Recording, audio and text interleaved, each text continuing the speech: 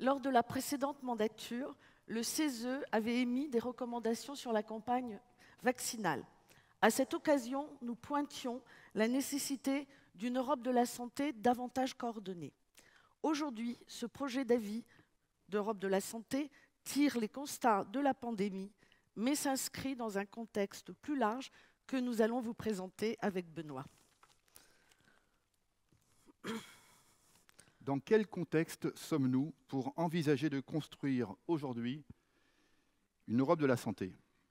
Tout d'abord, rappelons que l'UE ne dispose pas de compétences exclusives, mais seulement d'une compétence d'appui dans le domaine de la santé, ce qui montre qu'à l'origine, ce thème, la santé, n'avait pas été central dans le processus d'intégration européenne. Durant la crise financière de 2008, les politiques d'austérité et de réduction des déficits publics en vigueur au sein de l'UE ont même incité les États membres à réduire leurs dépenses de santé, conduisant à un sous-financement. Mais en 2009, au lendemain de, la crise financière mondiale, avec l'article 6 du traité sur le fonctionnement de l'Union européenne, l'Union s'est dotée d'une compétence afin de, je cite, mener des actions pour appuyer, coordonner ou compléter l'action des États membres, notamment dans le domaine de la protection et de l'amélioration de la santé humaine. Globalement, l'avis de la population européenne est partagé sur l'efficacité de l'action de l'UE durant la crise Covid-19, notamment parce qu'elle a tardé à agir de façon rapide et concertée. Mais cette pandémie a créé des attentes très importantes chez les citoyennes et citoyens vis-à-vis de la santé. Elle est devenue aujourd'hui une priorité pour les trois quarts d'entre eux. La présidence française de l'Union européenne, qui n'a pas eu lieu depuis 13 ans, est donc une véritable opportunité. Plusieurs réunions ministérielles européennes abordent en ce moment ce sujet, et il est important que la société civile apporte sa contribution. C'est dans ce contexte que nous avons travaillé ici au CESE à l'élaboration de cet avis pour avancer dans la construction d'une Europe de la santé. Ceci en s'appuyant notamment sur les actions mises en œuvre par l'Union européenne durant la pandémie et en lien avec nos valeurs européennes, en particulier celle de solidarité qui fait entre autres que l'Europe est depuis une quinzaine d'années le premier bailleur de fonds mondial de l'action humanitaire. Face à la pandémie, un certain nombre d'actions qui auraient été difficiles à gérer au niveau national ont été lancées au niveau européen. Achat groupé de vaccins, distribution entre États membres, passe sanitaire dématérialisé pour préserver la libre circulation des citoyens et citoyennes. L'Union européenne a également encouragé la coopération et la coordination entre États en s'appuyant sur des mesures intergouvernementales prévues par les traités. Elle a également innové en renforçant les agences de la santé. Nous pouvons noter à ce titre le rôle important qu'a joué l'Agence européenne du médicament dans l'examen des résultats des essais cliniques présentés par les laboratoires ou en suspendant le pacte de stabilité pour permettre aux États de soutenir leurs économies. Ce qui a permis de dire à la commissaire européenne de la santé et de la sécurité alimentaire que le train de mesures prises pendant la crise jette les bases d'une union de la santé. C'est donc bien en s'appuyant sur les outils juridiques et institutionnels existants que l'Union européenne a pris une série de mesures. Dès janvier 2020, activation du dispositif intégré de l'Union pour une réaction politique dans les situations de crise, ce qui a permis d'assurer une harmonisation au plus haut niveau politique et de coordonner des actions transsectorielles santé, protection consulaire, économie, protection civile. D'ailleurs, la mobilisation du mécanisme de protection civile a permis à 100 000 citoyennes et citoyens de rentrer chez eux. Des tests, des équipements de protection individuelle, des contre-mesures ont pu être achetés et des réserves stratégiques de matériels médicaux ont été hébergés dans les États membres grâce à un dispositif financier de soutien, à l'urgence, avec en parallèle un assouplissement de la réglementation pour les achats vitaux. Cependant, au début de la crise, malgré cette volonté de coordination, les Européennes et les Européens ont constaté des stratégies nationales disparates entre les États et une forte concurrence en matière d'achat d'équipements et de produits de santé. En matière de stratégie vaccinale, l'Union européenne a joué un rôle positif pour l'accélération, le développement, la fabrication et le déploiement des vaccins avec un accès rapide et équitable entre pays, tout en menant un effort de solidarité internationale. Les, les résultats sont au rendez-vous. Au 12 janvier 2021, plus de 80% de la population européenne est vaccinée, contre par exemple 62% aux États-Unis. Malgré des disparités entre États, et ces disparités ne sont pas liées à la disponibilité des doses qui avaient été réparties équitablement. Il nous faut souligner que l'Union européenne est aujourd'hui le premier exportateur mondial de vaccins, plus d'un milliard sept de doses vers 150 pays tiers.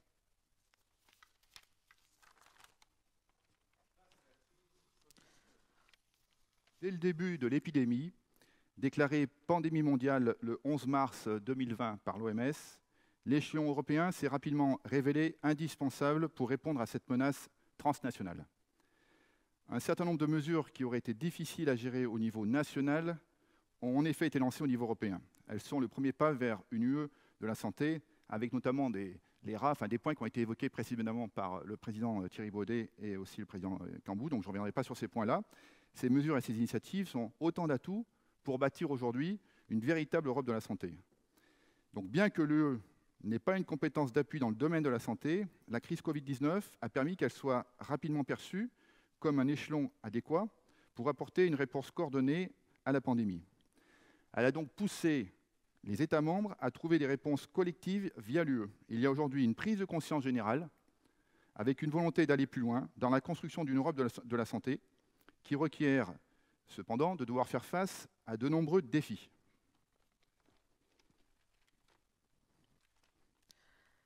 L'avis pointe que pour construire cette Europe de la santé, il nous faudra tout d'abord relever de nombreux défis. Comme ça a déjà été souligné, des défis politiques, de gouvernance, mais également d'inégalité dans l'accès aux soins au sein des différents États membres, d'investissement en recherche, de capacité industrielle, de gestion des données, mais aussi de santé publique. Face à ces défis que nous avons identifiés, le projet d'avis formule des préconisations permettant de les surmonter le défi politique. Le constat semble assez unanime dans le contexte actuel pour faire de la santé une vraie priorité de l'agenda européen. Mais au niveau politique, la réalité semble plus complexe. Rappelons-nous que lorsque la présidente de la Commission européenne, Mme van der Leyen, médecin de formation, a présenté ses six priorités pour le mandat 2019-2024, la santé ne figurait pas explicitement. En 2021, en raison de la crise sanitaire, lors de son discours sur l'état de l'Union, la santé s'est enfin inscrite dans l'agenda. Face à la pandémie, l'UE s'est à la fois appuyée sur ce que les traités lui permettaient de faire, c'est-à-dire de la coordination entre États avec des mesures intergouvernementales, mais a aussi innové en renforçant ou créant des agences de santé, par exemple l'ERA, ou encore en suspendant le pacte de stabilité pour permettre aux États de soutenir leur économie. Cependant, les possibilités d'action et surtout d'initiative de l'UE restent limitées car toujours en appui des États et dans le respect de leurs responsabilités dans ce domaine. De plus, la dissémination dans les traités des compétences en matière de santé engendre une fragmentation juridique qui ne facilite ni la visibilité de l'action, ni la capacité à agir. Donc, au-delà des mécanismes juridiques, il est important de souligner que pendant la pandémie, les principales difficultés observées ont trouvé leur origine dans la gouvernance avec un défaut d'articulation entre l'échelon national et européen. L'action de l'UE a, dans certains cas, été marquée par un manque d'anticipation, de coordination, sans véritable approche d'ensemble. On peut s'interroger également sur un manque de transparence des modes de gouvernance.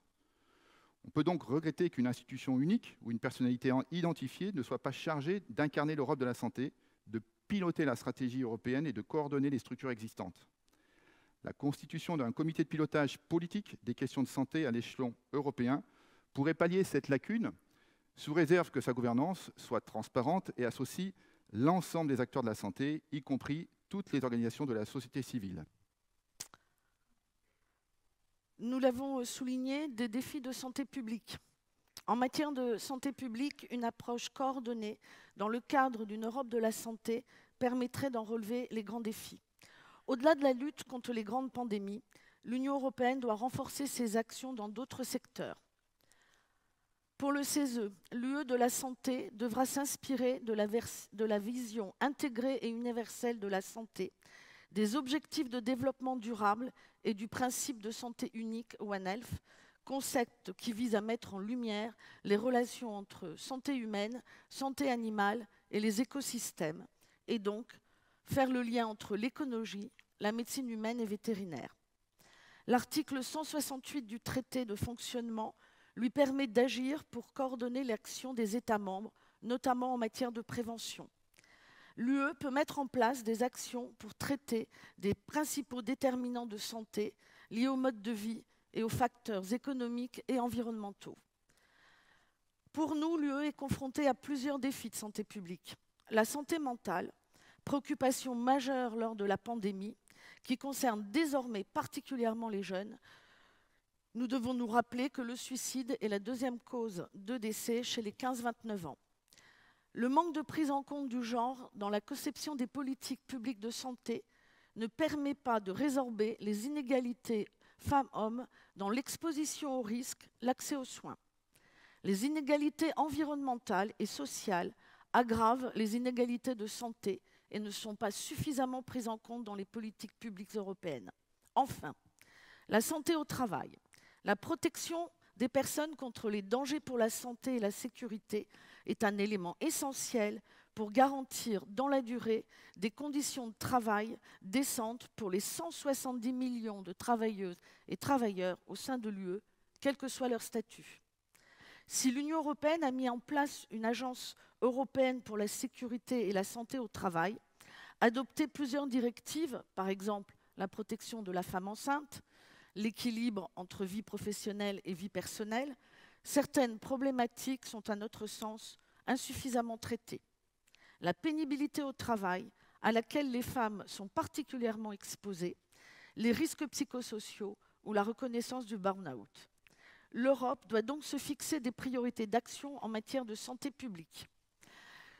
que nous étions dans un désengagement de l'Union européenne depuis plusieurs années dans la recherche fondamentale pourtant essentielle, car nous savons qu'elle a un impact important sur le processus d'innovation. Le CESE avait déjà constaté dans des avis précédents ce décrochage de l'UE et tout particulièrement de la France en matière de recherche. Néanmoins, un engagement a été pris lors du Conseil de Lisbonne en 2020 pour reconduire le cadre du programme de financement de la recherche Horizon Europe avec un objectif budgétaire de 3% du PIB de chaque État membre. Ça a permis effectivement de voir la thématique de la santé euh, présente avec une plus grande visibilité dans les programmes de recherche. On a cité EU4 Health, qui est doté de, 5 milliards 3, de l'agence ERA dotée de, 6 milliards sur 6 ans. Et pour ambitionner une Europe de la santé efficace, euh, il nous faut une recherche conjointe au niveau européen, avec des coopérations renforcées dans ce domaine. Ce constat a été dressé en audition au CESE, notamment par les professeurs Karine Sipido et Detlef Ganten, qui, comme beaucoup d'autres acteurs de la recherche, constatent qu'au sein de l'UE, elle est encore trop cloisonnée. Il faudrait encourager davantage les synergies entre États membres et l'intérêt de disposer d'un organe fédérateur qui pourrait faire la synthèse de l'ensemble de la recherche liée à la santé. Cela pourrait permettre d'optimiser les capacités avec des axes de complémentarité. La recherche, comme nous venons de le voir, euh, sur la santé doit se concevoir de façon pluridisciplinaire dans une approche holistique pour développer de vraies politiques de prévention et s'inscrire dans le cadre Une seule santé, One Health. La protection des brevets représente pour les industriels et acteurs de la RD une composante primordiale d'un cadre réglementaire stable permettant de rassurer industriels et investisseurs dans le cadre de la recherche pharmaceutique et en mesure d'assurer la fourniture de produits de qualité. Le modèle économique de ce secteur a ses propres spécificités liées notamment au long processus de recherche et développement, ainsi qu'au rôle déterminant des systèmes de protection sociale européens. Toutefois, si plus de la moitié de la population mondiale a reçu au moins une dose de vaccin contre le Covid-19, seul 8,8% de la population africaine est vaccinée. La levée des brevets pourrait être un des moyens de faciliter l'accès des pays tiers non producteurs de vaccins, car la santé est un bien commun mondial. L'Union européenne est un marché stratégique pour la santé. Quelques chiffres. Les soins de santé représentent 10% du PIB européen, occupent 8% de sa population active et représente 190 milliards d'euros de dépenses. Les cinq premiers acteurs du secteur représentent 22% du marché mondial, Et parmi les dix grands acteurs, un seul est européen, Sanofi. Notons également que 80% des ingrédients pharmaceutiques actifs et 40% des médicaments vendus dans l'espace européen proviennent d'Inde et de Chine. La crise Covid a mis à la fois en exergue la dépendance de l'UE en matière de produits de santé, notamment envers les pays asiatiques, mais également ses problèmes d'approvisionnement. Pour faire face aux pénuries aggravées pendant la pandémie, le, mandat de l'EMA a été élargi pour lui permettre de collecter plus efficacement des données et de disposer d'une meilleure vision des stocks. Mais ce dispositif ne s'applique qu'en cas d'urgence sanitaire, alors que nous le savons, les pénuries de médicaments ne surviennent pas uniquement dans ce contexte. Pour la vie, il faut aller plus loin pour éviter les pénuries. Il nous faut également renforcer le tissu industriel européen et les chaînes d'approvisionnement en biens de santé via un système d'aide directe pour relocaliser une partie de la production ou faire émerger des acteurs locaux de taille suffisante. Ces aides pourraient s'inscrire dans le cadre du projet important d'intérêt européen commun, PIEC, sur la santé, qui prévoit des financements significatifs compatibles avec le régime des aides d'État. Ainsi, la France souhaite faire avancer son projet destiné à accompagner le développement des innovations en santé, dont le but annoncé est de renforcer la souveraineté sanitaire de l'Union européenne en relocalisant, par exemple, la, la production de certains principes actifs, produits pour l'instant majoritairement en Asie. Le projet d'avis propose des préconisations pour répondre à ces défis industriels.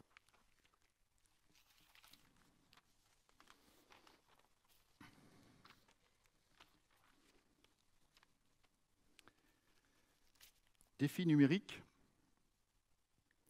Lors de la crise de la Covid-19, l'absence d'interopérabilité dans la transmission des informations et les difficultés de partage des données au niveau européen ont compliqué le suivi et la surveillance de la pandémie. L'UE doit donc faire face à de nombreux défis, en particulier à celui de garantir une souveraineté stratégique dans l'hébergement et la gestion des données au regard des géants du numérique. Comme le préconisait déjà le CESE dans la vie économie et gouvernance de la donnée, l'Union européenne doit accélérer les investissements indispensables pour un cloud européen souverain, condition de son indépendance technologique. Durant son audition, le président de la FEFIS, la Fédération des industries de santé, Olivier Bogillot, a rappelé l'importance d'un Health Data Hub européen à des fins de recherche scientifique. Cela pourrait se faire à partir de l'Agence exécutive européenne pour la santé et le numérique, qui supervise le déploiement du programme EU for Health. Il a été souligné que pour le développement de nouveaux médicaments, notamment, il est indispensable de disposer d'une base de données conséquente et importante pour les calculs et le partage des données. Nous savons que l'Europe de la santé doit se développer autour d'un modèle commun et à cet égard, si les 27 États membres disposent chacun d'un système de santé propre, ils partagent des valeurs et des principes qui peuvent servir de matrice. L'adhésion aux objectifs du développement durable, les ODD par exemple, la notion de santé unique, la santé comme bien commun, constituent autant de fondements cohérents pour promouvoir un modèle de santé propre à l'Europe. Nous avons recommandé aussi d'utiliser au maximum toutes les opportunités offertes par les traités. Par exemple, le traité sur l'Union européenne, le TUE, permet ainsi aux États membres qui le souhaitent d'instaurer entre eux une coopération renforcée dans le cadre des compétences non exclusives de l'Union. Cette procédure peut être utilisée si au moins neuf États membres de l'UE sont volontaires pour cette coopération, ce qui permet ensuite de créer un véritable effet d'entraînement par la suite sur les autres États. Ce type de coopération renforcée permettrait à la fois d'avoir des actions concrètes et de faire un premier pas vers une union de la santé consolidée. Pour le CESE, l'Union européenne doit aussi entreprendre un travail de définition de ses priorités à l'international en matière de santé une sorte de stratégie de santé internationale qui n'existe pas aujourd'hui, pour porter des positions reflétant la volonté des États membres et que l'Europe puisse parler d'une seule voix sur la scène internationale, en prenant en compte, bien entendu, euh, dans la construction de cette stratégie, de cette voie, la société civile euh, européenne. En matière de santé publique, nous devons souligner que d'ici 2030, pardon, 25% de la population européenne aura plus de 60 ans. Le taux de dépendance aura presque doublé d'ici là. 2 millions de personnes meurent chaque année de maladies cardiovasculaires et 5% de diabète. La santé mentale est donc devenue, comme nous l'avons souligné, une préoccupation majeure.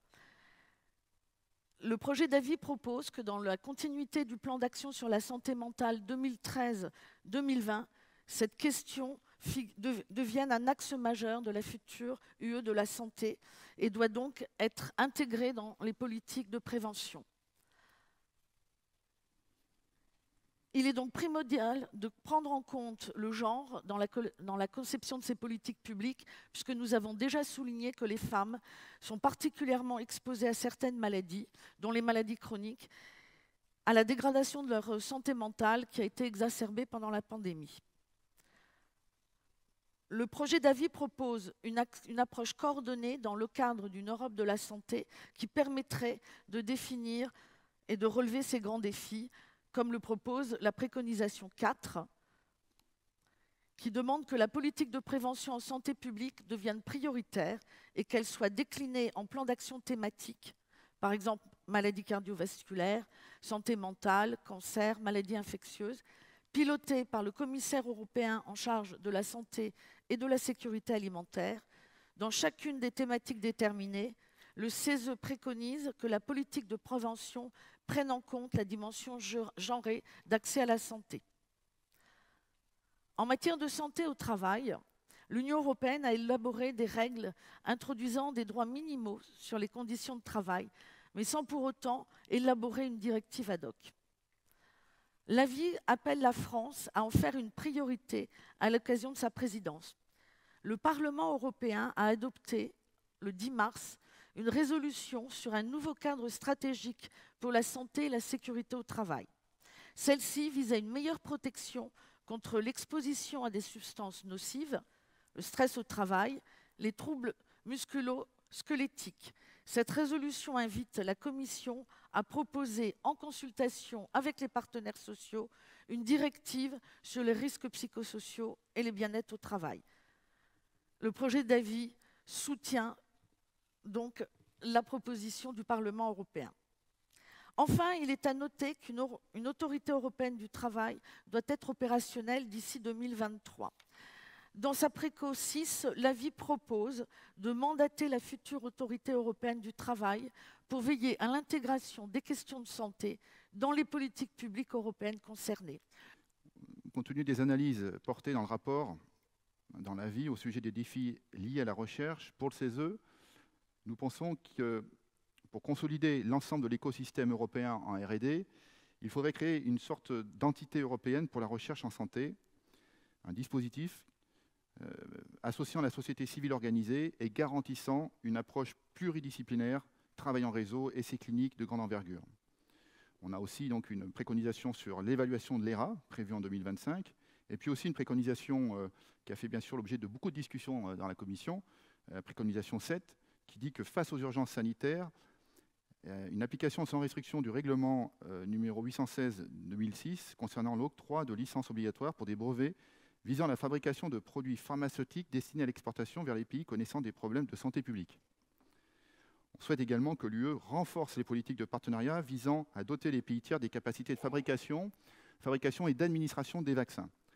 En effet, la seule question de la levée des brevets ne peut tout résoudre.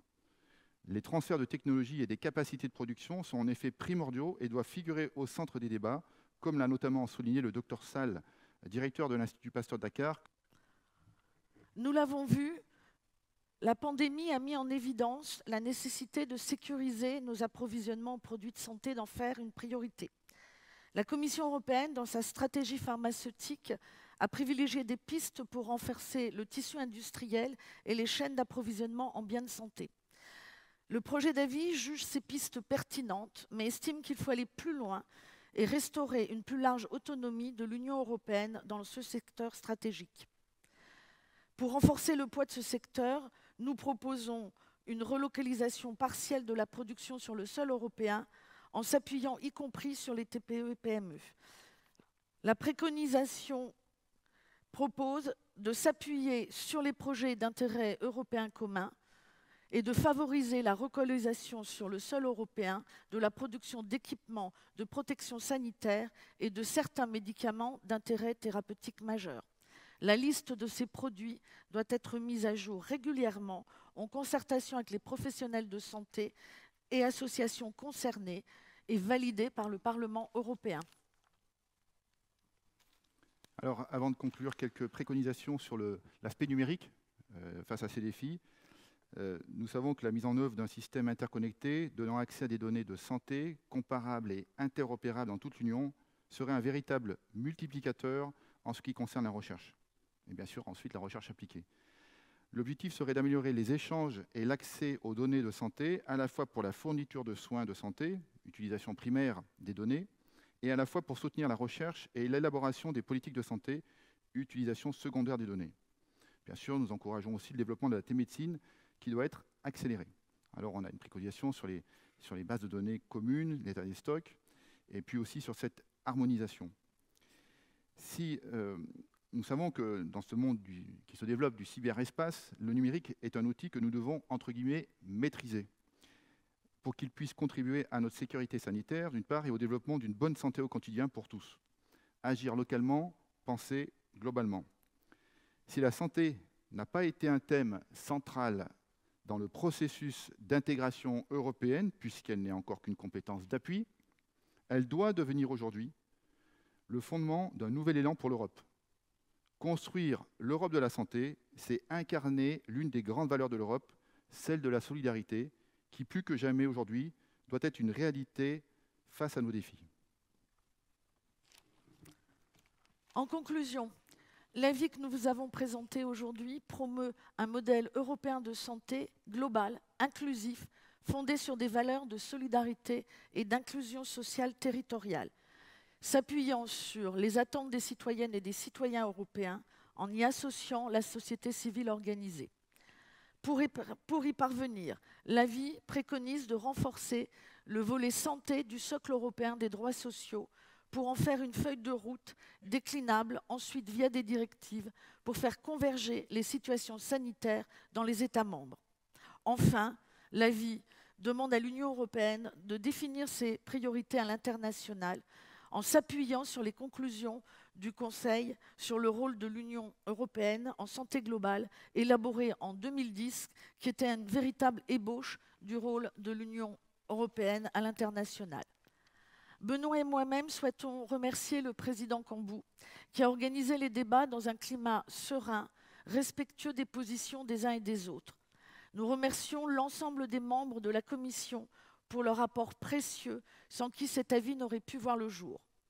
Mais nous tenons également à remercier les personnes qui ont accepté d'être auditionnées ou entretenues pour l'expertise qu'ils nous ont apportée. Enfin, Jean-Baptiste, Marion, Marie-Laure et Catherine, merci pour votre disponibilité, votre efficacité, sans quoi rien n'aurait été possible.